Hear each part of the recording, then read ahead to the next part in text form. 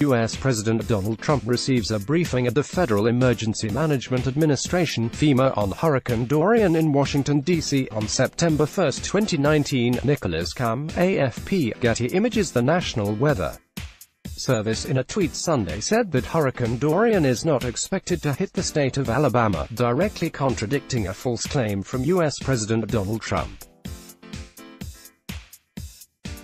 Earlier President Trump tweeted that, in addition to Florida, South Carolina, North Carolina, Georgia, and Alabama, will most likely be hit much harder than anticipated.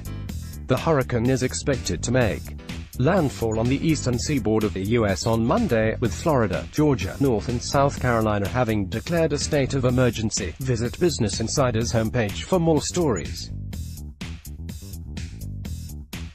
The National Weather Service and NWS, in a tweet Sunday rebutted U.S. President Donald Trump's claim that Hurricane Dorian will impact the state of Alabama. Alabama will not see any impacts from Dorian. We repeat, no impacts from Hurricane Dorian will be felt across Alabama. The system will remain too far east. The NWS's office in Birmingham, Alabama, tweeted Sunday morning, Alabama will not see any impacts from. We repeat, no impacts from hurricane. As of around 6.30 a.m. ET Monday, the message remains on the president's Twitter feed. In addition to Florida, South Carolina, North Carolina, Georgia, and Alabama will most likely be hit much harder than anticipated. Looking like one of the largest hurricanes ever. Already Category 5. Be careful. God bless everyone. Donald J. Trump, at Real Donald Trump, September 1, 2019 In remarks to reporters outside the White House on Sunday, he had repeated the assertion. We don't know where it's going to hit but we have an idea. Probably a little bit different than the original course. The original course was dead into Florida, now it seems to be going up to towards South Carolina, toward North Carolina. Georgia is going to be hit. Alabama is going to get a piece of it, it looks like. But it can change its course again and it could go back more toward Florida. Despite the correction, he also said Alabama could be impacted in a briefing at the Federal Emergency Management Agency headquarters later on Sunday. And Alabama could even be in for at least some very strong winds and something more than that, it could be.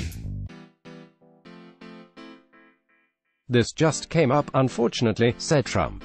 It's the size of the storm that we're talking about. So, for Alabama, just please be careful also.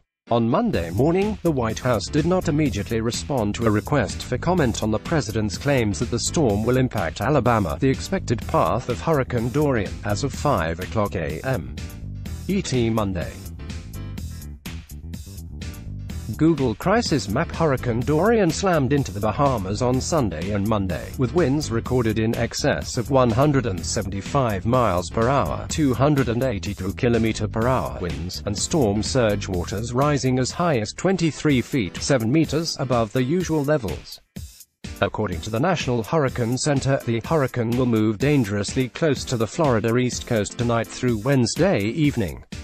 The states of Florida, Georgia, North Carolina, and South Carolina have all declared states of emergency, and more than 1 million people have been ordered to evacuate coastal areas in the three southernmost of those states. Late Sunday, Trump retweeted a message from the National Hurricane Center, warning of life-threatening storm surge and hurricane force winds are expected along portions of the Florida East Coast through midweek. Let's block ads. Why?